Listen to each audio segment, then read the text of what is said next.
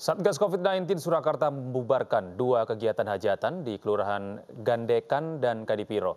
Kedua acara tersebut dibubarkan karena melanggar aturan pemberlakuan pembatasan kegiatan masyarakat. Ya, kita tetap mengikuti aturan protokol kesehatan. Tim Satuan Gabungan COVID-19 yang terdiri dari Satpol PP, polisi, dan TNI membubarkan sebuah acara hajatan pernikahan di Kampung Penjalan Gandekan, Surakarta. Tim Satgas langsung membereskan kursi tamu padahal tamu belum menikmati hidangan. Selain membubarkan hajatan, tim Satgas juga memberi teguran lisan kepada panitia.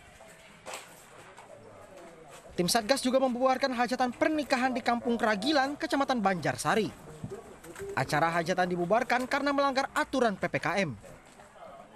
Dengan edaran wali kota eh, 07 067 036 bahwa untuk kegiatan eh, masyarakat sementara dibatasi. Jadi khususnya hajatan itu tidak dibolehkan. Jadi masyarakat tidak ada boleh mengadakan kerumunan kaitannya dengan eh, hajatan-hajatan.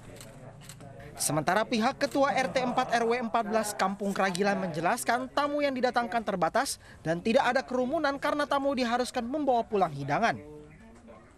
Dari Surakarta, Jawa Tengah, Septiantoro, iNews melaporkan.